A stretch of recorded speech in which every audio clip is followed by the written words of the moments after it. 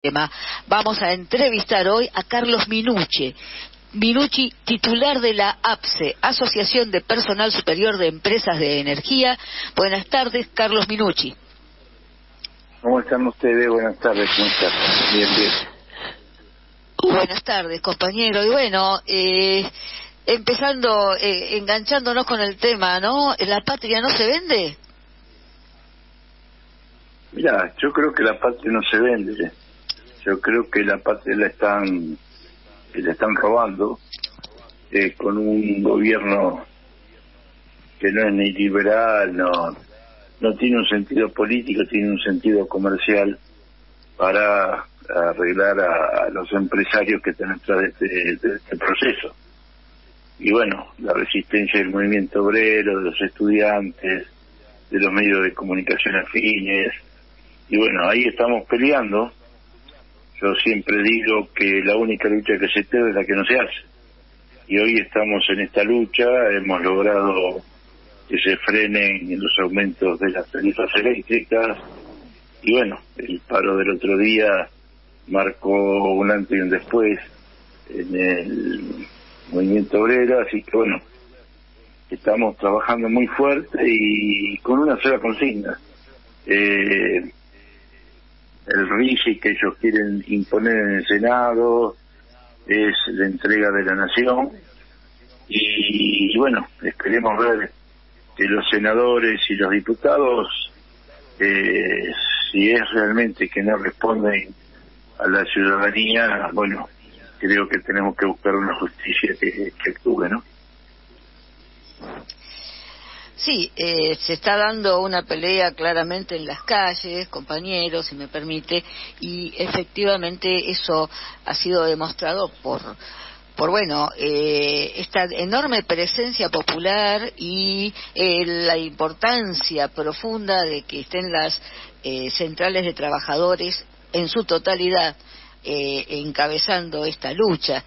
sí, señor. Pero bueno, sabemos que tenemos mucho que recorrer y tenemos también instancias en el Congreso, como usted bien señala, que se tornan muy complejas. Eh, volviendo al tema del Congreso, precisamente, eh, el capítulo laboral ha sido muy complejo, ¿no? Ha sido eh, realmente, ha, sufrido un golpe durante, en la Cámara de Diputados, que esperamos que logren revertir los senadores. Mira, vamos a ser claros, todo imperialismo, como están llegando a la Argentina, que vienen las grandes multinacionales con el RIGI, con, como venían antes en los 90, a imponer condiciones, a hacerse cargo de las empresas del Estado, a hacerse cargo del país, y bueno, nos llevaron a una, una necesidad de que los salarios estén bajos, que el movimiento esté controlado, que esté sumiso para que ellos puedan ejercer eh, sus grandes ganancias. En el 2003 como hasta el 2015, con Néstor y Cristina se revirtió la cosa.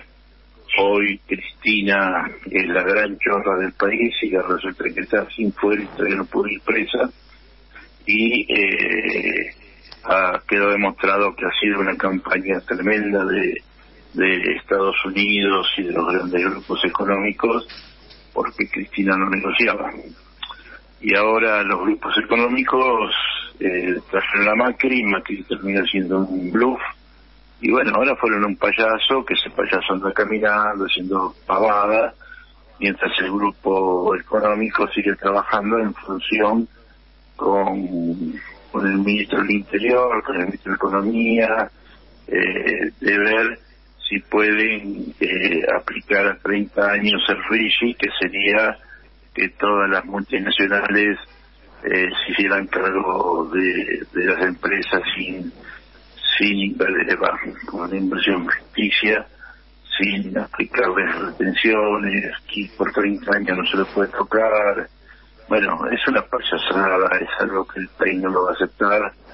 Y bueno, yo lo que digo es, cuidado, creo que creo que los argentinos tienen que reaccionar, eh, no por nosotros, ya hemos, creo que hay gente que ha vivido su vida y tienen hijos, tienen nietos y van a tener futuros bisnietos que cuando llegue el momento le preguntan y vos qué hiciste y bueno, espero que muchos tengan que decir yo, yo peleé. Eh, y hoy hay muchos argentinos que no están peleando, que están entregados, que están en una gran situación de, inoperancia y bueno, tiene que reaccionar la situación, así como 7.000 argentinos fueron a recibir a Argentina cuando se le campeón del mundo, creo que tiene que haber arriba de 7.000 argentinos que salgan a defender al argentino, ¿no? En efecto, 7 millones, dice usted, ¿no? 7 millones de argentinos. 7 millones, perdón, eran de 7 mil. no, no, me quedé en entiende perfectamente. Me, quedé, me lo contaba mi papá. 7 millones de compatriotas. Por eso, me lo contaba mi papá los 7 mil. Era cuando se bajaban los ceros. Pero bueno, pero vuelvo a decir, eh, estaba en una situación muy difícil. Pero bueno, la resistencia del movimiento obrero, la gente va tomando conciencia eh, la falta en los supermercados de compradores, eh, y bueno, todo va a terminar. Yo digo, a ver, eh, los argentinos perdimos en, el año 55 una política coherente de con sus tres banderas de soberanía nacional, de independencia económica y, política social. Y bueno, hay que recuperarla, hay que pelearla, eh, la oligarquía no nos perdonó y vienen por nosotros, pero no por nosotros los, trabajadores, vienen por los argentinos. Quieren un país con 35 millones de expulsados del sistema y quedarse para los 10 eh, millones de argentinos que viven, que van a Mar del Plata, que van a la ruta. Bueno, todo eso está pasando. Bueno, eh, yo lo que estoy pidiendo es la reacción de los argentinos. Hay, yo siempre les digo, los 30.000 desaparecidos no fueron en vano, fueron una pelea por un, país justo. Eh, los muertos, la sangre que dio el movimiento obrero es muchísima. Eh, y que cada uno que se está en su casa y cree que tiene vacaciones y que tiene un montón de ventajas se la dio el patrón, no la dieron muchos, muchos argentinos que dieron la vida por esas conquistas. Entonces, esta es la que estamos peleando.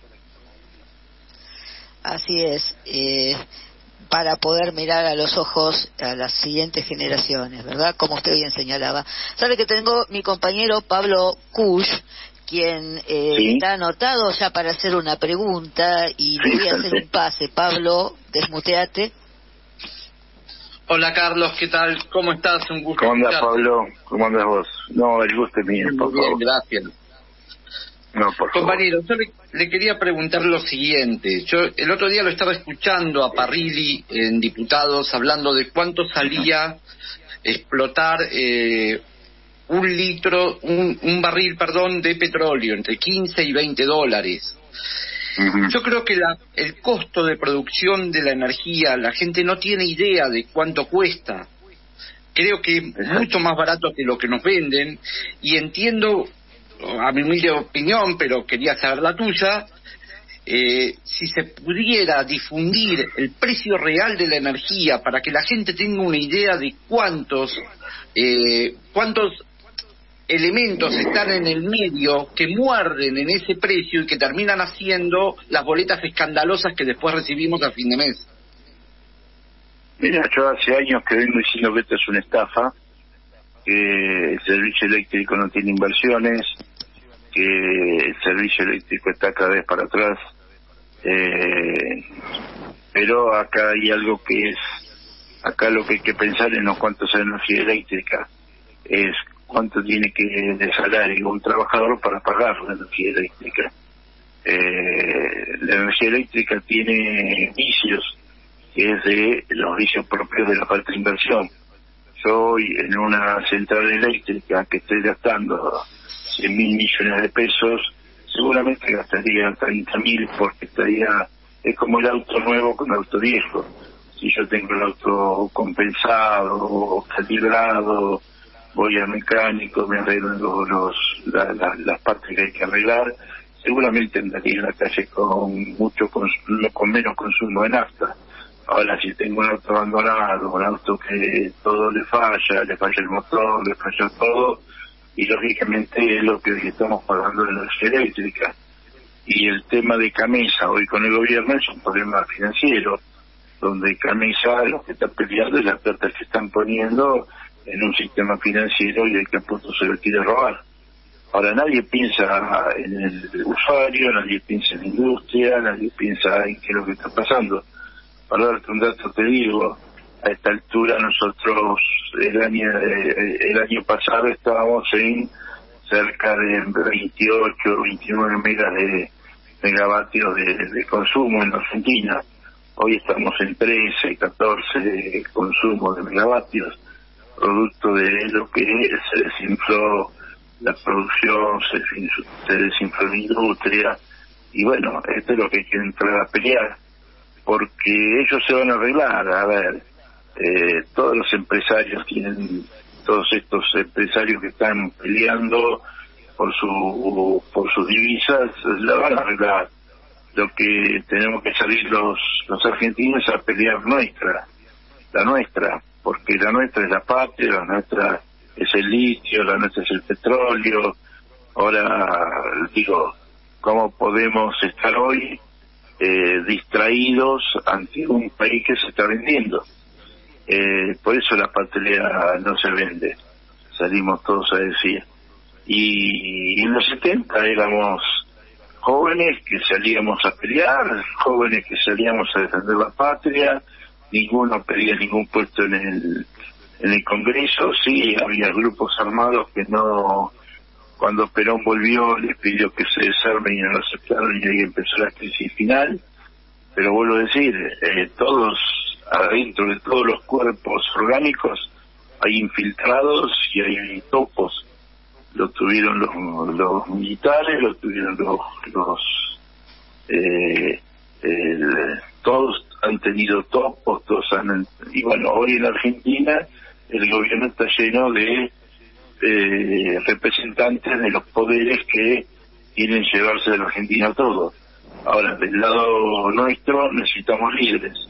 Cristina es la líder que estos están combatiendo porque hay muchos que están en la Argentina, en la Argentina de Menem, eh, de la política pasaron al comercio. Entonces les les convenía mucho más hacer negocios con la política que hacer un negocio con un negocio, hacer un negocio con trabajando honestamente. Y hoy hay una herencia de la política opositora, no la nuestra, sino la, de los radicales, la, de, del PRO, la del que viene a hacer negocio y no les interesa si no comer, si no comer. Es, es, es tremendo. Si alguien se muere de dengue, si no tenés eh, remedios para el cáncer, Ustedes imaginen, que yo se lo digo a veces, si hubiera sido el COVID y estaba eh, mi ley, hoy muchos hoy muchos no estaríamos hablando de esto porque no estaríamos. Sí, es una cruda, una cruda realidad, ¿no? La que usted marca que eh, nosotros nos preguntábamos, hay una eh, desaparición de la dirigencia prácticamente, ¿no? En su gran mayoría de la dirigencia política, eh, porque vemos a, la dirigencia de otros sectores, los trabajadores, por supuesto, pero no encontramos a la dirigencia política, eh, más allá de alguna declaración rimbombante, ¿no? En televisión.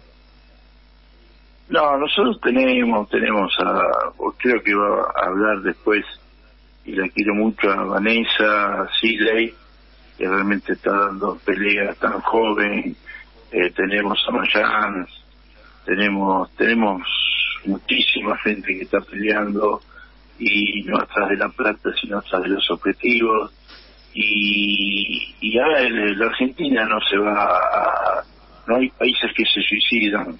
Hay hay habitantes que como en Argentina chocaron tres veces con la misma piedra bueno, esta vez creo que es la última, creo que nos están dando cuenta o han empezado a darse cuenta, eh, por eso el paro fuerte que hubo, estudiantes, la marcha de la CGT, eh, han demostrado que no, no es tan fácil para este gobierno engrupirnos por un del Interior que era peronista y ahora es eh, ultraliberal, de una Alemania que no sabe lo que es uno más uno. Eh, bueno, entonces digo, bueno, estamos ante un presidente inepto, ante un gabinete totalmente eh, incapacitado para manejar un país. Y bueno, acá lo único que tenemos que hacer es luchar. Muchachos, a ver, eh, en Argentina, desde el 43 que yo me lo contaba mis padres, eh, fue la lucha de, contra la oligarquía. Y ahí están pagando las cuentas. ¿Por qué? Porque hubo a través del tiempo los políticos que traicionaron a Néstor, los políticos, un tema Lustó traicionó al peronismo con la 125, eh, para dar un ejemplo de, los jóvenes. Eh, y pero retomemos y aceptemos que Moró, eh, no sé, muchos radicales están, Santoro, eh, la hija de Moró, trabajando fuertemente en un proyecto nacional.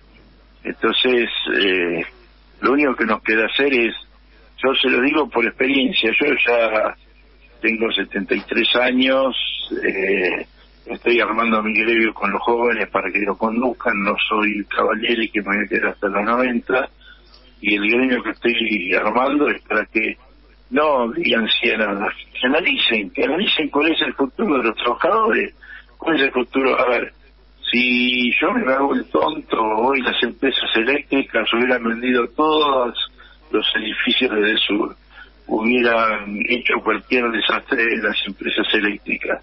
Y a cargo de eso que hay activo al gremio económico que les cuesta movilizarse al gremio, pero no importa, como Fongar o, o, la o la gente de los argentinos, no me interesa la plata, me interesa el trabajo de los de, nuestros compañeros en la lucha por por la defensa de sus derechos. Y esto es lo que tenemos que volver acá hay que volver a la fuente no a la fuente del 2019 como quiere mi ley a la, a la fuente que nosotros tenemos que llevar es decir a ver yo, tengo un avance tecnológico y que vamos a dejar al país sin trabajadores vamos a dejar que el RASI eh, cubran todos los puestos de trabajo y no tengamos trabajadores propios y toda la plata se vaya al exterior. Y el nuestro de que viven 10 millones y 35, 36 millones viven en la miseria. Esta es la pelea que tienen que dar los argentinos, que no lo entienden porque miran televisión, les cuentan un cuento, eh, Eduardo Feynman, eh, que la cantidad de pavotes que hay como, como periodistas comprados entonces vos te pones a pensar y decís, y tenemos que luchar, y yo a los 73 años estoy luchando como luché a los 25 por el regreso de Perón y cuando volvió Perón, y luché toda mi vida. Y no he sido montanero, no he sido él, he luchado desde, desde el sindicalismo. Entonces es lo que le estoy pidiendo a la gente, empiecen a